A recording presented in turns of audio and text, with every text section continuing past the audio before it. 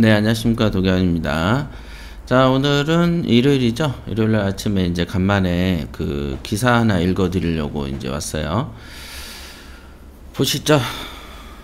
뭐 이제 우리한테 사실은 흔하디 흔한 내용인데, 어, 요즘에도 이제 이러고 있다. 이제 이 정도를 아시면 될 것 같고요. 여기 보면은, 서울 사는 김 씨가 주말마다 지방을 간다. 이제 뭐, 뭐 약간의 이제 기사는 이제 과장이 좀 있죠. 뭐 주말마다 진짜 가는지 확인했겠어요? 그건 아니죠. 비규제 지역이 뜬다. 어, 비규제 지역이라는 이, 이 부분이 이제 중요한 건데, 어, 사실은 이제 그 비규제 지역 쪽으로 투자, 경매 투자든 무슨 투자든 시작한 지는 어, 꽤 오래됐죠. 거의 한 1년 넘은 얘긴데, 1년 넘은 얘긴데, 이제 10월 23일 기사로 이렇게 떴네요. 그죠?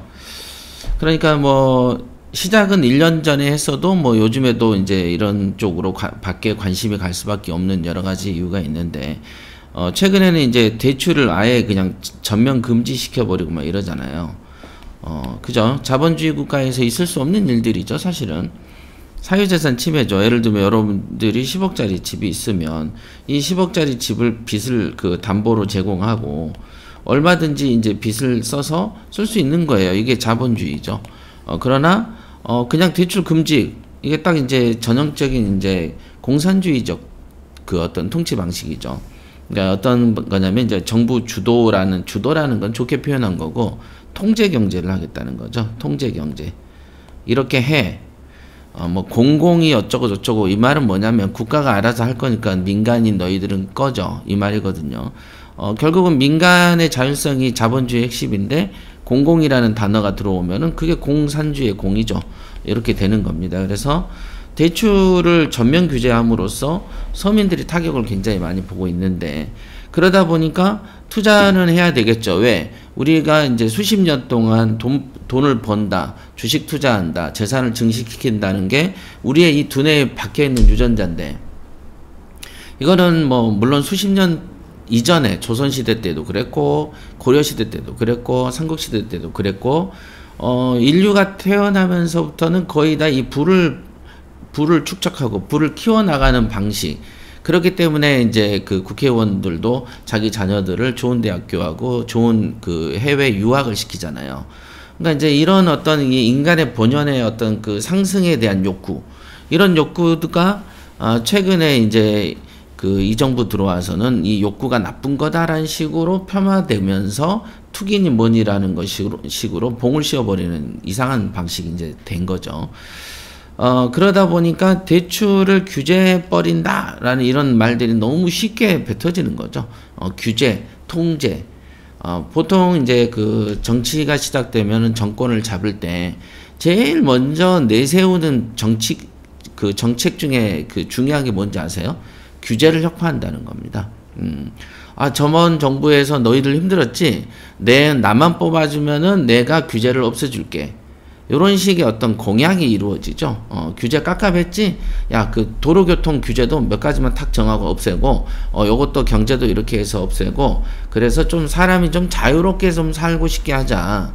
너희들이 길가에 벗고만 다니지 마. 어, 사기만 치지 말고, 사람만 죽이지 말고, 때리지도 마. 이런 몇 가지의 법만으로 딱 이루어져 있죠. 통상은 그렇습니다. 근데 이게 이제 사람을 옥죄할 때 이제 여러 가지 규제들이 많이 탄생을 하죠. 근데 이 규제는 특히 어, 무능할 때 규제를 많이 합니다. 통상 예를 들면 이제 어떤 부모가 어, 자녀를 가지고 이제 통제를 하잖아요. 초등학교 때부터 야 너는 핸드폰 안 돼, 투지폰만 돼, 투지폰도 안 돼, 위치만 추적되는 어, 뭐 이렇게 뭐 목걸이 같은 거 있어요. 그다음에 핸드폰도 있고 목걸이도 있는데 어, 요거를 차고 돌아다니면은 학교에 가면 간다고 문자가 오고 그러니까 아이들의 어떤 통제죠. 그러니까 다루는 방법이죠. 그러 다 음에 이제 좋은 대학교를 보내기 위해서 너는 몇 시부터 몇 시까지는 무슨 공부해? 몇 시부터 몇 시까지는 어, 학원을 가. 학원 갔다 오면 바로 자지 말고 복습하고 자. 자, 이렇게 이제 키우잖아요, 통상. 그러니까 이렇게 키우는 어떤 그 아이들을 갖다 통제로 키우는 경우가 있죠. 뭐 용돈도 얼마 이상 못 줘. 언제까지 들어와. 그 다음에 이제 그러면 애들이 이제 주눅이 들어서 성장을 하다가 어 스무 살 돼서 대학교에 가서 주눅 들지 않는 아이들하고 이제 섞이다 보면은 어, 거기서 차별이 굉장히 오죠. 애들이 좀 어버리가 좀 되, 많아요. 어, 저도 이제 사람을 여러 번 써보고 그러면은 어, 딱 이게 집안에서 너무 옥죄해서 성장하는 애들이 어, 좋은 아이디어를 못 만듭니다. 아이디어는커녕 심지어 회사에서의 무질서한 행동들을 벌리죠. 이상하죠? 한 20년 동안 통제와 규제를 속에 살았는데 얘네가 오히려 더 무질서한 거야. 중국 공산당 밑에서 애들이 얼마나 통제돼서 살았습니까? 근데 중국 공 중국인들이 해외 여행 가가지고 부패를 훑어버리는 걸 보면은 거의 그 어찌 보면 사람 아닌 것처럼 이렇게 막 그냥 개걸스럽다 그래야 되나? 식탐이 장난 아니죠. 막 그 저도 영상을 한번 본 적이 있는데 게 요리가 나왔어. 게 바닷게요. 그러니까 막 줄을 서서 긁어가는데 이 접시에다가 막 그냥 넘칠 정도로 퍼가고 밑에 흘려도 죽지도 않고 하는 장면이 나와요. 그러니까 이제 중국인들이 해외 여행이 시작될 때 초창기도 우리나라도 초창기 해외 여행 가면은 가오잡기 바쁘고 초창기 해외 여행 갔다 오면은 막 영어를 갖다 그 혓바닥을 갖다 엄청 굴리는 어떤 가식적인 행위가 벌어지는 것처럼 항상 보면은 규제했다가 풀어줄 때 부작용이 좀 있습니다. 그러니까 이제 무능할 때 그렇죠. 무능한 부부가 부모가 항상 아이들을 통제하면서 애들을 키워야만 마음이 안심이 되는 거야. 근데 이제 좀 자율성 있는 부모들은 아이들에게 이제 자율적인 어떤 권한을 좀 주고 어 그렇게 해서 창의적인 어떤 그 역량을 발전시키죠. 마찬가지입니다. 부동산도 이 규제가 그러면 어, 규제가 문재인 정부 들어서 규제가만 수백 개 늘었는데 그 100개가 수백 개가 늘을 때는 늘기 전 전보다 나아져야 되는 건데 오히려 규제가 생기기 전에는 부동산 가격도 안정화돼 있고 좋았단 말이에요. 그러나 뭘 어떻게 불을 산불을 저질렀는지 모르는데 막 불같이 주가는 그 집값은 오르고 부동산 가격 폭등하는데 어찌할 줄 모르니까 그냥 대충 갖다 규제를 폭탄을 던지는 거죠. 그러니까 이게 무능한 애들의 특징이라는 것이죠. 어, 그래서 어, 어쨌든 규제라는 거를 규제가 심하면 심할수록 사람들은 각감해하게 마련이고 그 그저 지금 천주교나 기독교가 옛날에 박해를 얼마나 받았습니까? 어 그렇지만 지금 살아남았죠. 그러나 천주교나 기독교가 박해 받을 때는 막 숨어서 기도하고 막 그러잖아요. 그러니까 똑같아. 부동산의 규제가 심해지면 그 돈이 어디를 가겠어요? 어? 수천 년 동안 해온 인간의 유전자가 성장 유전자가 갑자기 딱 멈추고 어, 투기 안 해야 돼. 그리고 딱 멈춰서 여기 예금하고 어, 인민복 입고 돌아다니듯이 지들 명령만 착착 들을 것 같죠? 안 그렇습니다. 어, 그래서 이 규제가 많아지니까 그러면 연구를 하게 되죠, 사람들이. 어, 옛날에는 스트레스 안 받고 돈을 벌었는데 이제는 스트레스를 엄청 받는 거죠. 그러놓고 규제를 피해서 어떻게 해야 우리가 돈을 벌 수 있을까를 찾게 되는데 그게 지금 있는 규제 지역, 비규제 지역에 관한 얘기입니다. 그러니까 규제가 심할수록 사람들을 옥죄일수록 경제가 더 폐쇄적이 되죠. 폐쇄적이 될수록 어, 빈부격차는 더 심해집니다. 그러니까 빈부격차는 중국이나 이런 그 중국 공산당이 오히려 더 심해요 한국보다 훨씬 심합니다. 음. 한번 보도록 하겠습니다. 그래서 이제 우리도 규제가 하도 이제 하다 보니 규제를 피하면 되지 않냐 이렇게 되고 그러면 결국은 장기적으로는 정부와의 불신이 싹이 트게 되는 것이죠. 근데 얘네들은 그걸 잘 모릅니다. 자 보시죠. 군산에 투자한 김 씨가 분양권 수익을 1억 5천 벌었다고 합니다. 그 다음에 어, 전매 제한이 없고 LTV 최대 70%까지 받는다. 자, 은행도 하도 돈을 못 빌려주게 하니까 규, 비규제 지역한테는 완전히 혜택을 줌으로써 돈 장사를 할 수밖에 없는 거 아니에요. 그러니까 사람이 원래 이렇게 만들어지면 안 되는 거거든요. 자, 김해 등에서는 1억 미만의 오래된 건물 구축 갭 투자도 성행한다. 네. 이럴 수밖에 없어요. 그러니까 사람을 이쪽으로 모은 거죠. 어, 투자, 투자의 방향을 투자자들이 똑똑해서 이 방향을 캐는 게 아니고 별로 똑똑하지 않아요. 투자자들도. 똑똑해서 이 길을 캐는 게 아니고 너무나 선명하게 이 길, 이 길은 절대 안 되라고 해놓으니 남는 이 공백이 보일 수밖에 없는 거예요. 어, 이렇게 된 거지. 뭘 똑똑해서 그런 건 아니고. 한번 기사 읽어보도록 하겠습니다. 어, 서울 사는 김모 씨는 주말마다 비규제 지역을 중심으로 임장을 한다. 네, 그 비규제 지역 중심으로 임장을 간다라고 합니다. 그러면 기본이 하루를 쓰면은 한 10만 원씩 쓴다는 얘기죠. 그죠? 비규제 지역, 규제 지역에 비해서 대출, 세금, 청약 면에서 상대적으로 유리하다. 그럴 수밖에 없죠. 집값이 비교적 저렴해 여윳돈을 불리기에 좋은 재테크로 판단한다. 맞습니다. 어, 정말 신기하죠. 음, 수도권에만 몰려 있으면 수도권만 집값이 오르거나 이럴 것 같은데 이제 수도권을 막아 놓으니까 그럼 수도권이 내려가야 되는데 수도권은 수도권대로 오르고 지방은 지방대로 오르는 어 이게 이제 딱 그 노무현 때 하던 방식이에요. 노무현 때도 수도권도 수도권대로 오르고 지방은 지방대로 엄청 올랐죠. 어 그렇게 됐습니다 이때가. 그러니까 이 시기에 안 사놓은 사람들이 항상 후회를 항상 하게 됐습니다. 앞서 2년 전에 그러니까 희한한 거죠. 사지 말라고 하는 것은 뭐냐면 투기 지역으로 묶인다는 것은 그만큼 뛰었기 때문에 투기 지역으로 묶이는 것처럼 사지마 사지마 할 때는 올랐기 때문에 사지마 하는 것이고 규제 규제하는 것은 규제를 규제를 할 만큼 너무 통제 불가능할 정도로 올랐기 때문에 그런 것이다. 그러니까 대부분 투자자들이 규제가 많아서 안 하려고요. 그게 아니고 규제라는 단어가 등장할 때 이미 자기는 좀 늦은 거라고 생각하셔야 되는 거죠. 그죠? 중요한 겁니다. 투자이익이 쏠쏠하게 낮아 수도권과 다소 거리가 먼 지역까지 발품을 판다. 예. 우리 스파레주 협회에서는 20년 전부터도 항상 말했지만 돈 되면 지방을 가라. 이렇게 얘기를 했었어요. 어, 투자 대비 가성비가 좋다. 어, 이게 지방의 기본 개념이죠. 근데 사람들이 지역하고 종목에 대한 어떤 그 편견이 있기 때문에 그 편견으로 인해서 어, 이 기회를 놓치는 겁니다. 어, 지방에도 돈이 많이 거래가 되고요. 지방에도 공인중개사 다 있고요. 어, 지방에도 사람들이 있어서 사고팔고를 다 합니다. 어, 지방에도 사람들이 많아서 전세월세 거래 다 하고요. 어, 그리고 오히려 서울에서 김밥이 3,500원인데 지방도 3,500원 맞습니다. 그러나 서울에서 김밥 천국을 임대하려면 월세가 예를 들면 150을 줘야 된다지만 어, 지방 가면 월세 50만 원짜리도 있단 말이에요. 그러니까 월세 50만 원짜리를 내고 김밥 김밥은 3,500원에 파니 오히려 자영업한테 좋은 것은 지방이 더 자영업자가 살기가 좋은 겁니다. 음. 그 그런 것처럼 이 그 사고를 조금 생각해 보면은 어 굳이 그 내가 가진 돈이 적은데 적 수도권에만 꼭 사야 된다는 관념을 고정관념을 두다 보면 아 내가 돈이 적어서 투자를 못 하고 있어요라는 핑계거리가 되기도 한다는 것이죠. 돈이 적으면 적은 대로 찾아 내려가면 되는 것이다. 이렇게 보시면 되겠습니다. 어, 김 씨가 첫 투자한 비규제 지역의 부동산은 군산의 나운동 어, 22년에 입주된 예, 아파트래요. 어, 재작년 분양권을 2억 6천에 취득했는데 현재가 3억 6천에 된대요. 1억 정도 올랐네요. 비규제 지역은 전매 제한이 없다. 예, 이런 규제가 없어. 그러니까 수도권의 규제가 심하니까 비규제 지역으로 몰려가는 거야. 그래서 전국이 두루두루 오를 수밖에 없는 것이죠. 음.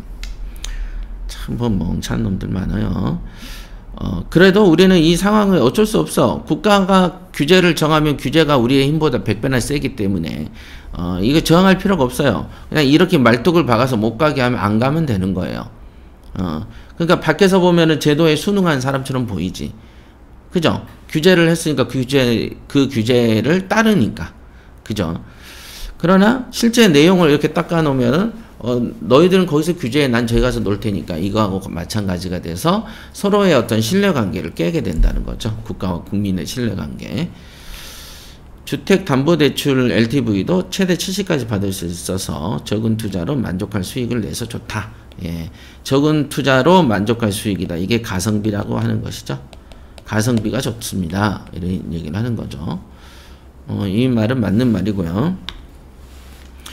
부동산 안정을 위한 조치로 주택담보대출, 신용대출을 옥죄면서 수도권 중심으로서는 팔자세가 늘어난 등 불장이던 주택시장이 빠르게 식는다. 불장이라는 이런 그 어떤 참 이해 안 되는 말이죠. 그냥 예를 들어 불처럼 뜨거운 장세 뭐 이런 식으로 표현해야 되는데 불장이 뭐야 불장이. 그죠? 다만 이른바 현금 부자들은 안정적인 투자처가 맞득지 않자 규제가 상대적으로 덜한 비규제 지역으로 간다. 맞습니다. 중요한 거예요. 그래서 한국의 규제가 심하니까 삼성이 해외로 이전한다 이런 얘기들이 있는 겁니다. 그리고 이제 그 기업들의 해외 이전은 어, 유럽 같은 데는 흔히 있는 일 중에 하나입니다. 그래서 법인세가 비싸면은 어, 프랑스가 세금이 너무 비싸요. 그래서 프랑스에서 기업들하고 어, 잘 사는 사람들이 이민이 해외로 이민을 많이 간다고 합니다. 자, 온라인 부동산 커뮤니티에서는 취득세 1%, 양도세가 일반 관세로 규제가 덜해 어, 비규제 지역의 투자를 실패할 수 없는 구조다라고 평가한다. 이건 맞습니다. 어, 실패할 수 없는 구조다. 아, 이런 표현 맞고요. 왜? 취득세 1%가 되는 것은 어, 다주택자에도 공시가격 1억 이하의 어떤 그 낙찰 가격, 공시가격 1억 이하의 물건을 살 경우에는 어, 다주택이어도 취득세의 중과가 되지 않습니다. 어, 그렇죠. 그러다 보니까 1억 이하의 물건 쪽에 경매 경합이 많이 붙는 것이죠. 어, 이거는 나쁜 선택은 아니에요. 그러니까 근데 이제 여기서 주의해야 될 게 뭐냐면 나쁜 선택은 아닌데 취득세 취득세가 4%냐 8%냐 하지만 예를 들면 1억짜리의 8%면 800이고 어 1%면은 이제 100이 되지 않습니까? 그럼 이 700만 원이 세이브 되는 것 같아도 실제로 그 동일한 1억 어, 넘어서의 물건을 서울 수도권에 샀을 때 상대적으로 미래라든가 차익 면에서는 서울 쪽이 더 나을 수도 있는 경우가 있거든요. 그런데 단지 취득세 좀 절감된다라고 해서 무조건 비규제 지역만 찾는 것도 잘못된 거다라는 거죠. 어, 이런 것도 어, 반전이 있을 수 있다라는 거 잊으시면 안 된다. 어, 경기도 남양주, 양평, 여주 비규제 지역의 임장기도 수두룩하다. 일반적으로 비규제 지역의 투자자들 사이에서는 어, 실거주가 없이 3년에서 5년 내 수익을 거두거나 6개월 내내 초단, 초단타도 유행하고 있다. 네, 이렇게 제가 다시 말씀드리지만 초단타 단기 매매는 경매 투자에 있어서의 최악의 선택이다. 음. 습관이 단기 매매에 꽂혀 있는 사람들이 항상 가난합니다. 이거는 부동산 제가 경매를 시작한 지 25년 다 됐어도 어, 단기 매매에서 돈 벌었다는 사람 한 명도 없습니다. 이거는 어, 이거는 어떤 기업도 어떤 장사꾼도 단기 매매를 중심으로 하지 않습니다. 주식도 단기 매매보다는 장기 매매한 사람이 항상 어, 상류층을 차지합니다. 그렇기 때문에 어, 뭐 이런 단기 매매 유행한다 이거는 할 수 있지 어, 이런 선택은 할 수 있어요. 그러나 그거는 선택에는 좋은 선택이 있고 나쁜 선택이 있는데 이거는 좋지 못하다. 또 근데 이제 경매 초짜들이 이런 기사 보고 어야 초단타고 나도 사서 팔아봐야지. 어, 그런 멍청한 짓 하지 마세요. 이거 30년 전에도 이짓 했어. 앞, 눈앞에서 그런 짓을 하더라고. 안 좋다고 얘기해도 합니다. 음, 그거는 어쩔 수 없어. 어, 그죠? 이거는 운명인 거야. 어쩔 수 없는 거죠. 경매를 하는데도 가난해. 어, 이건 운명인 거죠. 음. 비규제 지역은 규제 지역을 제외한 모든 곳이다. 그러겠죠? 전국의 236개 시군구 중에 규제 지역이 아닌 규제가 70밖에 안 돼. 그러니까 230군데가 넘는데 규제 비규제가 70군데니까 규제 지역이 거의 한 70% 된다는 얘기 아니에요. 이게 뭔 나라입니까, 이게. 골 때리는 놈들이지, 이거. 수도권에서는 어쩌고 저쩌고 뭐 이런 거는 여러분들이 찾아보시면 되는 거고요. 236군데 중에서 비규제 지역은 70군데밖에 안 된대요. 그래서 규제를 뜯어보니까 먼저 대출 면에서는 다주택자의 신규 주택을 위한 대출은 나오지 않는다. 맞습니다. 안 나옵니다. 다주택자는 원수기 때문에 안 나옵니다. 원수이자 적이죠. 그러니까 안 나오죠. 2주택자의 보유 세대는 신규 주택 신규 구입을 위한 주담대가 금지되는데 1주택 세대는 기존 주택을 6개월 안에 처분하고 전입하는 조건으로만 대출이 나온대. 언제 안에 처분하래? 그럼 6개월 이후에 처분될 때는 어떻게 되냐? 아, 무조건 벌을 준다는 거야. 뭐 신용 불량을 주고 어쩌고 저쩌고. 뭐 이런 게 어디 있습니까? 아, 말도 안 되는 소리죠.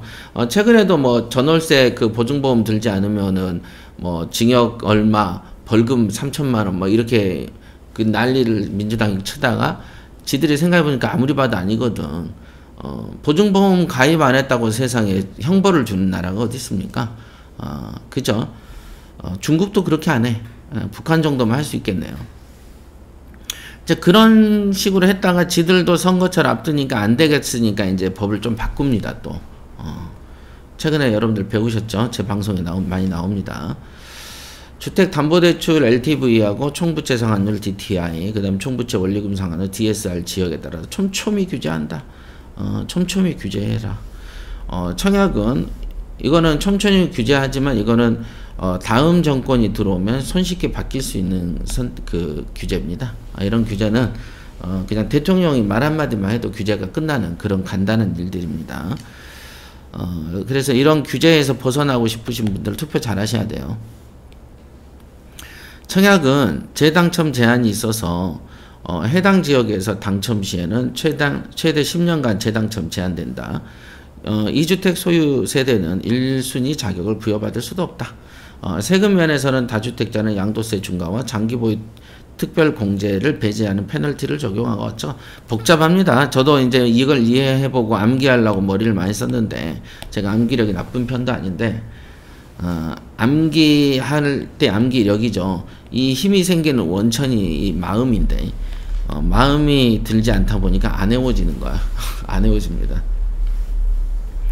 규제 지역의 투자가 사실상 꽉 막히면서 비규제 지역도 뜬다. 분양만 했다 하면 청약 경쟁률이 최대치를 기록하고 기존의 신축 아파트 값도 급등한다. 그러니까 얼마나 잘못된 정책인지 아시겠어요? 결과로 얘기하면 돼요. 어, 어떤 누군가가, 여러분의 어떤 가족이 누군가가, 야, 돈 1억만 빌려줘. 내가 이걸로 투자해서 무조건 돈 벌 수 있어. 라고 얘기했어요. 근데 얘가 하는 것마다 걸리고 돈을 손해를 봐. 자, 그럼 얘가 잘한 선택인 거예요? 못한 선택인 거예요? 못한 선택이잖아요. 그러니까 부동산의 규제 정책을 펼쳤는데 부동산이 오르고, 어, 대출을 규제했는데 서민들이 아프게만 생각하지 부동산은 잡히지 않아. 그럼 잘한 거예요? 못한 거예요? 못한 거지. 근데 이렇게 못하는 거를 5년간 못한 애들을 다시 또 맡긴다는 건 그건 멍청한 짓이죠. 못하는데 또 맡겨. 어, 맨날 마누라를 때리는데 다시 때, 또 재결합해. 그럼 맞아야지, 계속. 요런 식의 어떤 선택이다. 이거를 합리적으로 생각을 하셔야 된다는 거. 나머지는 뭐, 김해 원주의 1억 미만의 주택이 활활 타오른대요. 비규제 지역을 중심으로 공시가격 1억 이하의 주택 매수도 늘고 있는데요. 어, 어쩌고 저쩌고 저쩌고 어쩌고 저쩌고 저쩌고 현재 다주택자나 법인이 공시가 1억 미만의 아파트를 사면 주택수와 상관없이 기본취득세를 적용한대요. 그죠? 어, 아, 법인은 그렇지 않습니다. 법인은 중가입니다. 이거 좀 잘못 썼네.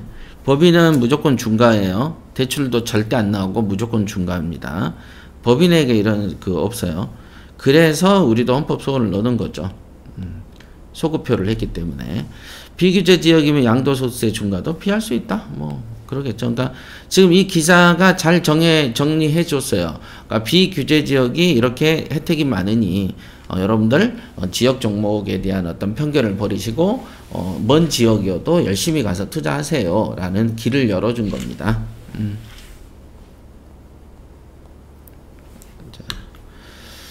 대한건설정책연구원은 그 정부가 규제 지역을 확대하면서 상대적으로 규제가 덜한 비규제 지역의 희소성이 커졌고 희소성이 있게 생겼네요. 아까 보니까 236곳 중에서 76곳인가만 비규제고 나머지가 규제니까 정말 희소성이 생겼네요. 그죠? 교통 호재 등으로 입지가 좋은 곳은 청약 그 경쟁률이나 분양권 웃돈도 수도권 못지않다. 어, 수도권과 거리가 먼 비규제 지역은 집값의 하락 시 낙폭이 크다는 점을 감안하셔요. 이런 건. 요거, 요거는 잘 썼네요. 그래도 이제 연구원이다 보니까. 현재 규제가 이렇게 흘러가고 있지만, 나중에 어떤 정권이 바뀌어서 규제가 혁파가 되면, 그럼 규제가 혁파가 되면은 당연히 돈은 다시 수도권 쪽으로 몰려가지 않겠습니까? 그렇게 돼버리면 아무래도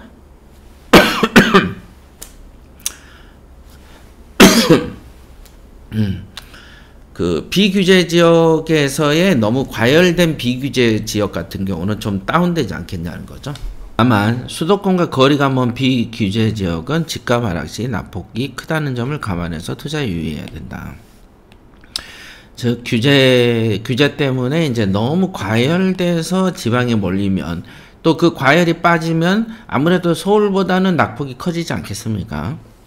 이제 그 지점. 그래서 항상 중도가 중요합니다. 중도.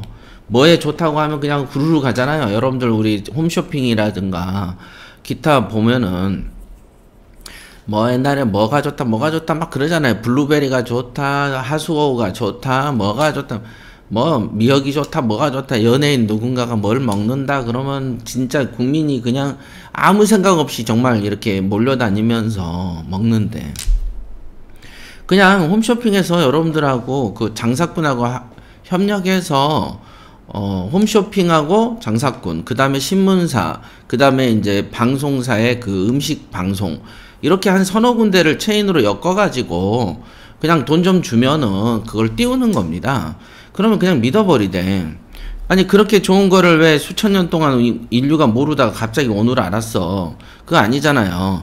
우리의 인류는 수천 년을 살았기 때문에 몸에 좋은 거는 이미 드러나 있는 거죠. 어, 그런 겁니다. 그래, 최근에도 보셔서 아시겠지만, 대장동 사건 같은 경우도, 뭐, 별의별 사람들 다 연결돼 있잖아요. 지금 보니까 학맥으로 연결됐더만, 고등학교 출신들 같아. 다. 다 같아. 고등학교가. 어, 고등학교 같고, 그 다음에 이제 그 어떤 그, 결국은 돈이죠. 돈인데, 보니까 은근 고등학교하고 같은 당. 아, 요런 애들로 뭉쳐 있습니다. 고양이 같든가 어쩌든가 요런 식으로.